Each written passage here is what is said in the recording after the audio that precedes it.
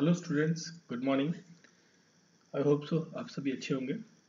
तो देखिए, आज की क्लास में हम जो स्टडी करेंगे, वो ज्योग्राफी है हमारी एनसीईआरटी की। एनसीईआरटी सीरीज़ हमारी चल रही थी ज्योग्राफी के अंदर। उसका जो क्लास सेवन्थ है, उसके जो चैप्टर नंबर टू है इनसाइड आवर अर्थ के बारे में हम आज डिस्कस करेंगे। देखिए, ये चैप्टर जो बेसिकली है आपका, ये कंटेन करता है अर्थ की लेयर्स के बारे में बात करता है। ठीक है? जो अर्थ की डिफरेंट डिफरेंट लेयर्स है है ना? टॉप से लेके जैसे आपका ये अर्थ सरफेस है है ना? तो ये इसको क्या है? रेडियस है, इस पॉइंट तक सेंटर तक। तो यहाँ से यहाँ तक जो सरफेस से सेंटर तक की जो डिफरेंट डिफरेंट लेयर्स हैं, उनके बारे में हम इस क्लास में देखेंगे। ठीक है? तो चलिए शुरू करते हैं अपने क्लास तो देखिए, आपके सामने एक डायग्राम है। आपके सामने एक डायग्राम है। जिसमें क्या दिया हुआ है कि जो ले अर्थ ये सेक्शन काटा हुआ है आपकी अर्थ सरफेस थी, उसका एक सेक्शन व्यू लिया हुआ है कट किया हुआ है शेप में, जिससे आपको हर लेयर के बारे में जानकारी मिल जाए, है ना? तो देखिए इसमें क्या है, सबसे ऊपर की जो लेयर है, वो क्रस्ट कहलाती है है ना? फिर उसके नीचे जो ऑरेंज कलर में दिख रही है आपकी लेयर ये क्या है आपकी आपकी एस्थेनोस्फेयर ठीक है? अभी हम देखेंगे इसमें क्या क्या रहता है, फिर आपका मेंटल रहता है ये मेंटल का इलाका, ठीक है? और फिर आउटर कोर रहती है, फिर आपकी इनर कोर रहती है। और आपकी रेडियस कितनी अर्थ की? Approximately sixty four hundred kilometre ठीक है तो यहाँ पे देखिए six three seven eight exactly figure दी हुई है। ये फिगर हमने एन से कंसिडर की है। ठीक है बट अप्रोक्सीमेटली कितना लिया जाता है? सिक्सटी फोर हंड्रेड किलोमीटर आपका अर्थ का रेडियस लिया जाता है। ठीक है तो देखिए, अर्थ के अंदर चेंजेस होते रहते हैं, है ना? तो अब देखिए, इसमें हम सबसे पहले जो हमारी टॉप लेयर है, सबसे ऊपर की लेयर जो आपकी ये ये वाली है ना तो कितनी होती है, ये होती है आपकी टॉप लेयर जो है, ठीक है, इस फिगर पर ध्यान मत दीजिए थोड़ा। इधर देखिए कि ये जो टॉप लेयर है आपकी क्रस्ट की, है ना, इसे कहते हैं क्रस्ट ठीक है, और ये क्या है आउटर थिन लेयर है थिन ये बाहर की सबसे पतली लेयर होती है, ठीक है, और जिसकी थिकनेस लगभग आपकी थर्टी टू फिफ्टी किलोमीटर्स की रहती है डेप्थ में, है ना? थर्टी टू फिफ्टी किलोमीटर में कैसे रह रहे हैं? ऐसे, अंदर की तरफ़ जा रहे हैं। ठीक है, इस डेप्थ को हम थर्टी टू फिफ्टी किलोमीटर और ये देखिए, ये डिफरेंट जगहों पे अलग अलग हो सकती है है ना? जैसे आपका ओशन है, समुद्र है है ना? तो ओशन में आपका क्या है? ये फाइव टू थर्टी किलोमीटर की डेप्थ तक भी हो सकती है। क्योंकि देखिए ओशन क्या है आपका? आपका इस तरीके से ना ओशन ओशन और फिर ये सरफेस तो यहाँ पर पानी है तो जो ओशन के नीचे जो अर्थ सरफेस आता है क्रस्ट वाला हिस्सा आता है वो क्या एक सर्टेन डिस्टेंस के अंदर हो, सकता है है ना? कुछ गहराई भी होती है ओशन में है ना? तो उसको हम हटा के जो सरफेस आता है वहाँ से हम कंसिडर करते हैं अर्थ को क्रस्ट को ठीक है? और जो कॉन्टिनेंट है कॉन्टिनेंट मतलब जो आपका ये इस तरीके से आपका गहराई हो गया समुद्र हो गया और फिर आपका ये ये जो आपका ऊँचा इलाका है जहाँ पर लोग रहते हैं ठीक है, जहाँ पर देश है तो उस जगह पे जो आपका कॉन्टिनेंट है कॉन्टिनेंट्स में ये जो डेप्थ होती है, ये 50 टू 100 किलोमीटर्स की रहती है। ठीक है, देखिए, यहाँ पर क्या लिखा था? ज़ीरो टू हंड्रेड तो इस तरीके से इनका डिवीज़न हो गया है, ठीक? और जो हिमालय रेंज है, आपकी जो माउंटेन्स है, हिमालय माउंटेन्स की हम बात कर रहे हैं ना? तो जो माउंटेन्स है, वहाँ पर जो ये माउंटेन्स पर जो ये डेप्थ होती है क्रस्ट लेवल माउंटेनिंग्स पे तो वहाँ कितनी चली जाती है? ये सेवेंटी टू हंड्रेड किलोमीटर्स तक चली जाती है है ना? क्योंकि देखिए माउंटेन्स की भी कुछ हाइट हुई, उसके बाद फिर वो सरफेस लेवल पर आया और फिर क्रस्ट लेवल ठीक है? ये सब मिला के लगभग सत्तर से सौ किलोमीटर के आसपास की थिकनेस आपकी किसकी रहती है। ये क्रस्ट की रहती है, जो सबसे ऊपर की लेयर आपकी है। ये दो लेयर जो दिख रही है ना, ये ग्रे कलर की और थोड़ा सा हल्का लाइट ग्रे कलर का, ठीक है? और ये क्रस्ट है ये अर्थ का जो वॉल्यूम है आपका, है ना, पूरे अर्थ को अगर जो हम वॉल्यूम के टर्म में डिवाइड करें तो उसमें जो है सिर्फ़ पॉइंट फाइव से वन परसेंट अर्थ का वॉल्यूम कंटेन रखती है, जो क्रस्ट है आपकी। ठीक है? मतलब आप, अगर ये पूरे स्फेयर का वॉल्यूम रखें कोई, ठीक है, जो हंड्रेड परसेंट आप मानते हैं कि हंड्रेड वॉल्यूम है इसका तो इसका सिर्फ़ पॉइंट फाइव से वन परसेंट वॉल्यूम जो है अर्थ क्रस्ट के अंदर इंक्लूडेड है। ठीक है? चलिए। क्लियर फिर हम बात करते हैं अपने अगले जो हमारी लेयर है एस्थेनोस्फेयर ठीक है? एस्थिनोस्फेयर के बारे में हम बात करते हैं। तो देखिए एस्थिनोस्फेयर में क्या है? ये एक तरीके की बाउंड्री लेयर है, ये देखिए। बाउंड्री लेयर है बिटवीन क्रस्ट ऊपर है और उसके नीचे क्या है आपका? मेंटल मेंटल और क्रस्ट के बीच का जो बाउंड्री लेयर है, उसे कहते हैं एस्थिनोस्फेयर ठीक है? और ये काफ़ी कमज़ोर होती है। कोई ये ज़्यादा स्ट्रांग नहीं है, ये वीक लेयर है। वीक लेयर है। देखिए, ये क्रस्ट आपकी स्ट्रांग लेयर है बट ये जो एस्थिनोस्फेयर है, ये आपकी वीक लेयर है और ये मेंटल के अपर पार्ट में देखने को आपको मिलती है। और ये किसका सोर्स है? ये मेन सोर्स है मेन सोर्स है आपका मैग्मा का। जो आपका ज्वालामुखी या लावा फटता है है ना? तो उसके अंदर जो मैग्मा रहता है है ना, जो निकलता है बाहर, वो इसी लेयर के अंदर मैक्सिमम पाया जाता है, ठीक है? और इसकी जो डेंसिटी है मतलब इस लेयर की, है ना डेंसिटी जो घनत्व तो है, वो क्या है? आपकी जो क्रस्ट की लेयर है क्रस्ट की लेयर उससे क्या है? हाई है। As to compare to crust की लेयर से, जो आपकी एस्थिनोस्फेयर की लेयर का जो डेंसिटी है, वो क्या है? हाई है, ठीक है? जिसकी वजह से क्या होता है आपका? वॉल्करिक इरेप्शन होता है इस लेयर की वजह से। ठीक है? चलिए, फिर हम बात करते हैं अपनी नेक्स्ट लेयर के बारे में। आई होप सो ये दोनों पॉइंट आपको क्लियर हो गए होंगे क्रस्ट और एस्थिनोस्फेयर फिर हम बात करते हैं मेंटल के बारे में। ठीक है? तो मेंटल जो है आपका, ये आपका जो है लगभग हमारा कितना बात कर रहे थे हम यहाँ पे? थर्टी फाइव टू हंड्रेड है ना? तो हम यहाँ से मोटा मोटा में ये कह सकते हैं कि थर्टी फाइव कुछ एरियाज़ पे थर्टी फाइव किलोमीटर से लेके ट्वेंटी नाइन हंड्रेड किलोमीटर तक की जो रेंज है डेप्थ है है ना? वो पूरी किसकी है? मेंटल की है। ये कितनी है? थर्टी फाइव से लेके कुछ जगह पे वेरिएशन रहेगा भाई। जो समुद्र का डीप इलाका इलाका है जहाँ पे पानी गहरा है है ना? उस जगह से क्या है? थर्टी फाइव किलोमीटर स्टार्ट होगा, है ना? ठीक है, इस तरीके से वेरिएशन रहता है। Thirty five to twenty nine hundred kilometre का आपका ये जो है इसकी डेप्थ रहती है और इसकी जो डेंसिटी है वो क्या है? कम रहती थोड़ी सी डेंसिटी कम रहती है। कितनी कम कम रहती है? वो है थ्री पॉइंट थ्री से लेके three point seven as compare to जो आपका आ, ये था एस्टिनोस्फेयर का जो लेयर का डेंसिटी था उसके कंपेरेटिव इतना कम रहता है इतना परसेंटेज कम रहता है उससे उससे कंपेरेटिव में। ठीक है? अब देखिए इसमें जो आपका लेयर है ये मेंटल वाला। मेंटल लेयर में आपका क्या है? सॉलिड रॉक्स है। ठीक है? सॉलिड रॉक्स के साथ सम एरियाज़ में मैग्ना भी पाया जाता है मैग्मा जो आपका वॉल्केनिक इरप्शन के लिए या वॉल्केनो जो फटता है उसके लिए, ठीक है? ज़रूरी है या चाहिए उसके लिए, जो एस्थेनोस्फेयर की लेयर में काफ़ी मात्रा में पाया जाता है तो देखिए, ये जो ऊपर की लेयर है ना, ये मेंटल की, ये जो ऊपर का सेक्शन है, ठीक? इस सेक्शन में मैग्मा का कुछ जगहों पे देखने को मिलता है, ठीक है? और सॉलिड रॉक्स का बना हुआ है। अब ये जो सेक्शन है आपका, ठीक है? इसका जो, अगर जो हम वॉल्यूम के टर्म में बात करें तो ये अर्थ सरफेस का 83 परसेंट वॉल्यूम ठीक है? बाय वॉल्यूम है ना? वॉल्यूम आपका जो मेंटल है, वो कंटेन करता है, ठीक है? चलिए। फिर हम, देखिए हमने किस किस की बात कर ली? अर्थ क्रस्ट की बात कर ली एस्ट्रोस्फीयर की बात कर ली और फिर अब हमने मेंटल के बारे में बात कर ली। अब हम बात करते हैं हमारी जो लास्ट लेयर है कोर के बारे में। देखिए, ये सेक्शन है पूरा कोर का। 2900 किलोमीटर से लेके 6400 किलोमीटर तक का जो पूरी रेडियस है, ये क्या कहलाती है? आपकी कोर कहलाती है। ठीक है? और इसको डिवाइड किया गया दो पार्ट्स में। देखिए, एक 2900 से 5100 तक की जो रेंज है, वो क्या है? लिक्विड है। ठीक है लिक्विड फॉर्म में है। इसमें सॉलिड रॉक्स वगैरह नहीं, ना मात्र के बराबर प्रेजेंट है। और जो इनर कोर है, बिल्कुल एंड वाली कोर जो रेडियस तक जाती है, वो क्या है? आपकी सॉलिड है। ठीक है? वो ठोस है। चट्टानों की मतलब हैवी वो कॉम्पैक्टेड मेटल्स मटेरियल से बन गई है। ठीक है? अब देखिए, ये जो है आपका वॉल्यूम बाय वॉल्यूम की बात करें तो 16 परसेंट आपका बाय वॉल्यूम कंटेन करता है।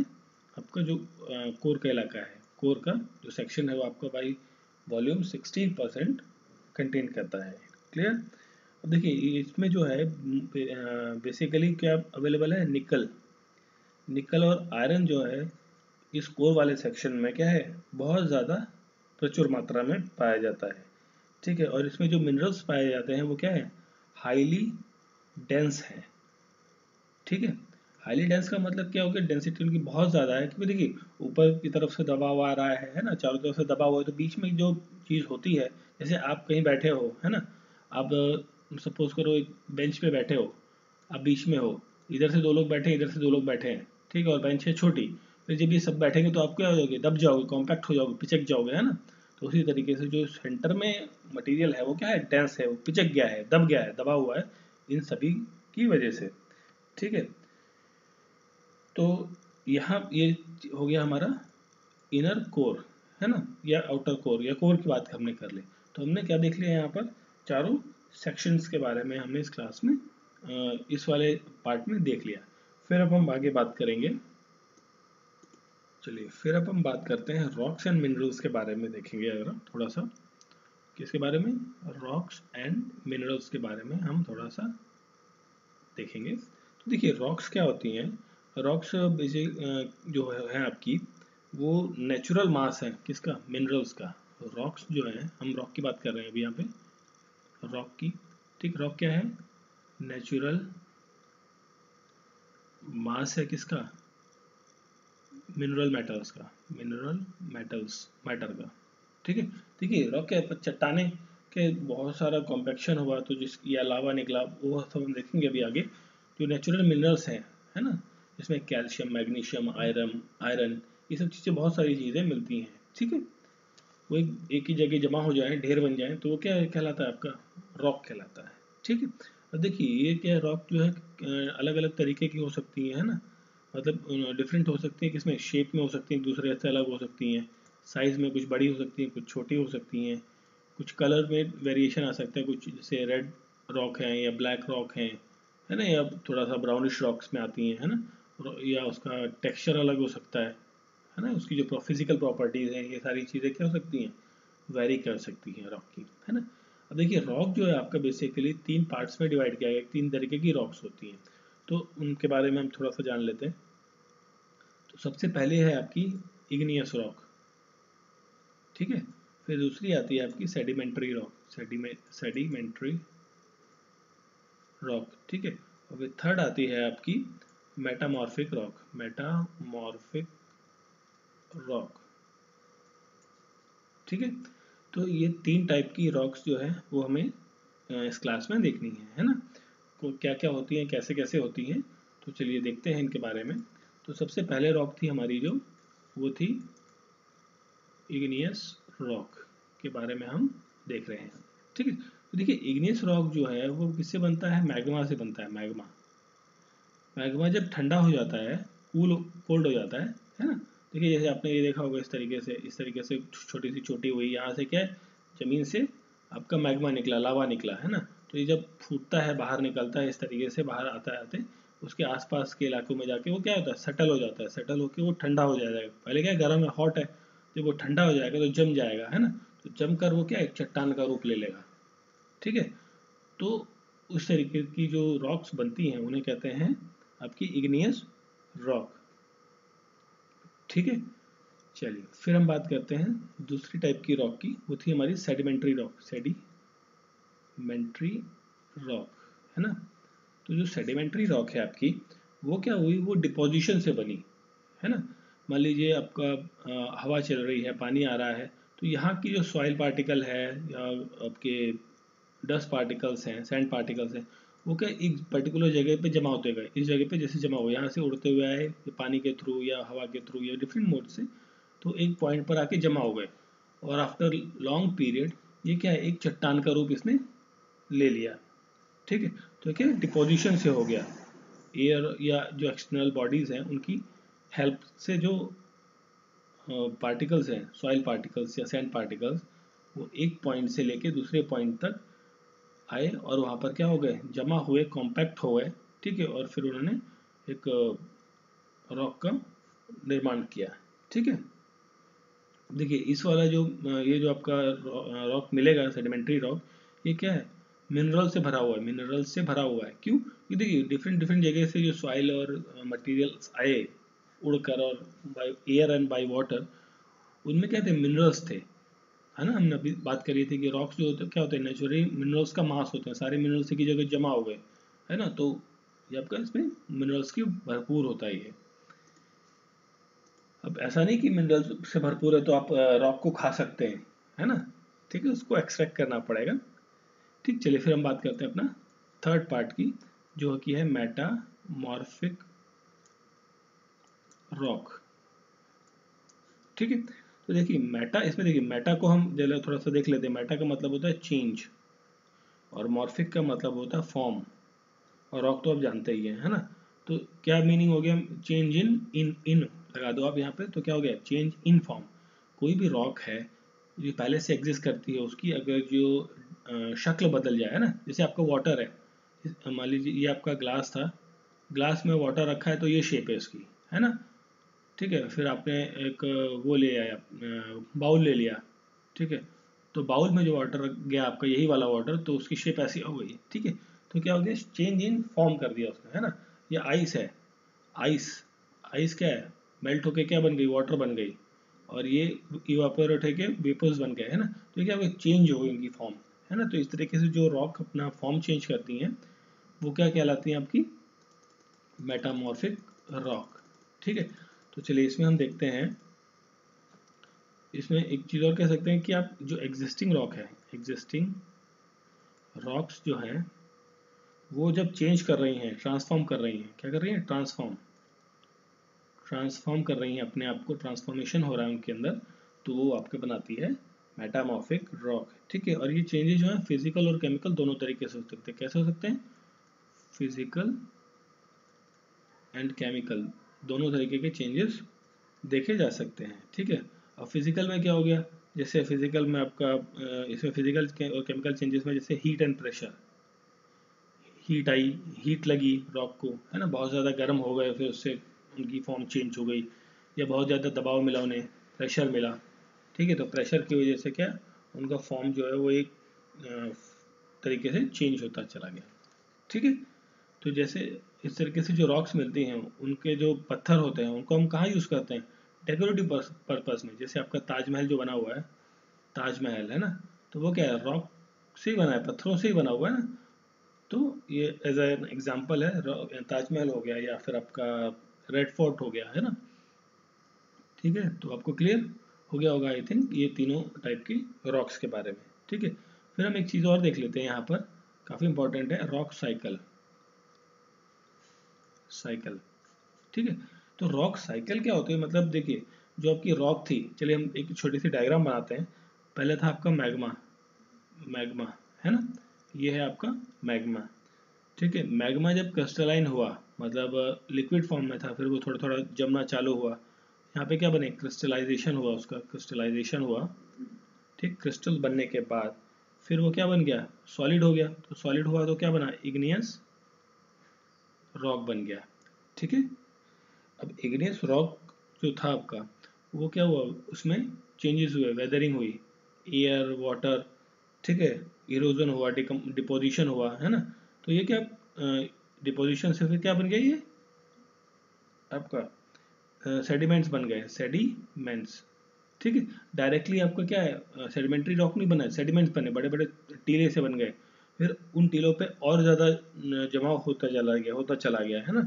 आफ्टर टाइम ठीक? अब जो ये सेडिमेंट्स हो गए थे, इनको क्या क्या हुआ इनके साथ? कॉम्पैक्शन हुई दबाव पड़ा इनके साथ। कॉम्पैक्शन हुआ और कंसोल कॉम्पैक्शन हुआ, ठीक है?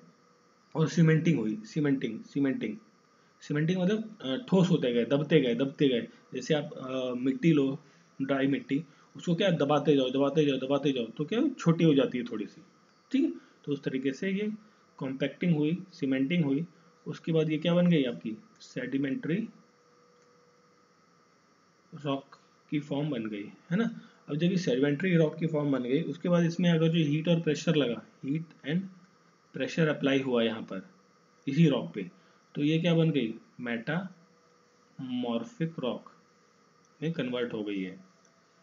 क्लियर अब देखिए, जब फिर हम बात करते हैं, जब मेटामॉर्फिक रॉक है, ये जब गर्म हो गई मेल्ट हो गई टेम्परेचर की वजह से, बहुत ज़्यादा तो क्या हुआ? ये मेल्टिंग जब हो गई इसकी, अगर जो हुई तो ये वापस से क्या बन गया? मैग्मा बन गया। क्लियर देखिए एक साइकिल बन गई, है ना? घूम रहा है चेन चेंजेस होते रहेंगे। नहीं, ऐसा नहीं कि दो दिन में चेंज हो जाएँगे या दो साल में। इसके लिए बहुत समय लगता है। कई सौ साल, कई बार हज़ारों साल का समय इसमें लगता है। ठीक है? अब देखिए, ये तो एक पर्टिकुलर राउंड सर्कल हो गई। इसमें इंटरमीडिएट चेंजेस भी कई बार देखने को मिले हैं। देखिए, जैसे अगर जो आपका इग्नियस रॉक है, ये अगर जो मेल्ट हो गई मेल्ट हो गई, है ना? इन बिटवीन तो वो क्या है? डायरेक्टली आपकी रॉक मैग्मा बन जाएगी। उसको आगे जाने की ज़रूरत ही नहीं। यहाँ से मेल्टिंग चालू हो गई तो वापस वो जैसे जो सॉलिड हुआ था आपका मैग्मा निकल के क्रिस्टलाइन फॉर्म होकर, वो अगर जो वापस से पिघल गया, फिर वो क्या बन गया आपका? वापस से मैग्मा बन गया। ठीक है? और फिर हम बात करते हैं, जैसे ये है आपका। इग्नियस रॉक इसमें अगर जो directly heat and pressure heat and pressure आपको डायरेक्टली मिल गया है तो वो क्या सीधा मेटामॉर्फिक चला जाएगा। उसमें कन्वर्ट हो जाएगा आपका वो सेडिमेंट्री रॉक नहीं बनेगा, है ना? फिर अब देखिए सेडिमेंट्री रॉक है जो उसमें वापस से वेदरिंग वगैरह चालू हो गई है ना? वेदरिंग एयर वगैरह से जो टूट टूट के जाने लगे, दूसरी जगह डिपॉजिट होने लगे, जैसे एक रॉक है है ना? यहाँ से रॉक है, वहाँ जो हवा और प्रेशर की वजह से यहाँ से टूट टूट के जाके दूसरी जगह जमा होने लग गई। तो क्या हो गया? वापस से वो सेडिमेंट बनाएगा। सेडिमेंट बनाएगा, फिर कॉम्पैक्ट होगा, फिर सेडिमेंट्री रॉक बनाएगा। फिर वो चेन जो है, इन्हीं में चलती रह गई। एक छोटी सी चेन यहाँ भी चल रही है आपकी, है ना? फिर देखिए मेटामॉर्फिक रॉक से जो बनी आपकी, वहाँ से भी क्या है आपका? वेदरिंग हो सकती है। उससे भी वेदरिंग हुई, आपका छोटे छोटे पार्टिकल्स आपके इधर उधर डिस्ट्रीब्यूट होने लग गए और फिर सेडिमेंट्स बने, फिर आपके सेडिमेंट्री रॉक बने। तो इस तरीके से भी साइकिल चलती है देखिए इसमें एक और चीज़ रहेगी जो सेडिमेंट्री रॉक है, वो अगर जो पिघल गई, यहाँ पे जाके पिघलना चालू हो गई, पिघल गई मेल्ट हो गई और मेल्ट होने के क्या बन जाएगी आपकी? वो मैग्मा बन जाएगा, ठीक है? तो ये था आपका रॉक साइकिल तो इस तरीके से रॉक्स को क्या है अपनी जो चेंजेस हैं करते रहते हैं अपनी फ़िज़िकल स्टेट में फ़िज़िकल स्टेट में, ठीक है? उन पर ये सारी चीज़ें अप्लाइड रहती हैं। चलिए, फिर हम बात करते हैं इसमें मिनरल्स के बारे में, थोड़ा सा देख लेते हैं। मिनरल्स के बारे में, ठीक है? रॉक्स हमारी किसकी बनी हुई है? मास ऑफ़ मिनरल्स का बनी हुई है, ठीक है? अब देखिए मिनरल्स के पास जो है उनकी खुद की physical and chemical properties physical properties और केमिकल कंपोजिशंस जो है मिनरल्स के पास अपनी खुद की रहती हैं। ठीक है? देखिए मिनरल्स कौन कौन से हैं आपके? जैसे कोल है। कोल है नेचुरल गैस है है ना? या आपका पेट्रोलियम है पेट्रोलियम है, ठीक है? तो ये सब जो मिनरल्स हैं, हम देखिए, हमारे जो माइन्यूट मिनरल्स हैं, जो कैल्शियम है मैग्नीशियम है, या आपका ये सब चीज़ें, ये तो मिलती हैं बट एक ह्यूज अमाउंट में जो मिनरल्स मिलते हैं, वो ये भी मिनरल्स हैं आपके। नेचुरल गैस कोल या पेट्रोलियम है ना? तो इनको हम कहाँ यूज़ करते हैं? इनको यूज़ करते हैं हम इंडस्ट्रीज़ में मेडिसिन में मेडिसिन में और फर्टिलाइज़र में। ठीक है? तो ये सब चीज़ें थी आपके इस चैप्टर में, जो इनसाइड आवर अर्थ का है हमारा चैप्टर नंबर टू तो इस चैप्टर में हमने क्या क्या देखा? हमने रॉक्स की आपकी जो लेयर्स हैं लेयर ऑफ़ अर्थ के बारे में हमने बात करी कि कितनी लेयर्स रहती हैं। फिर रॉक्स की फॉर्मेशन की बात हमने की, कि रॉक्स कितने कितने प्रकार के देखने को मिलते हैं और कैसे कैसे बनते हैं, ठीक है, और उसके रॉक साइकिल के बारे में फिर हमने इसमें देखा, है ना? तो आई होप सो आपको सारी चीज़ें इस पर्टिकुलर चैप्टर की क्लियर हो गई होंगी। तो अगर जो आपको वीडियो अच्छा लगा है तो लाइक एंड सब्सक्राइब ज़रूर कर दें, है ना? तो मिलते हैं फिर अगली क्लास में। Thank you for watching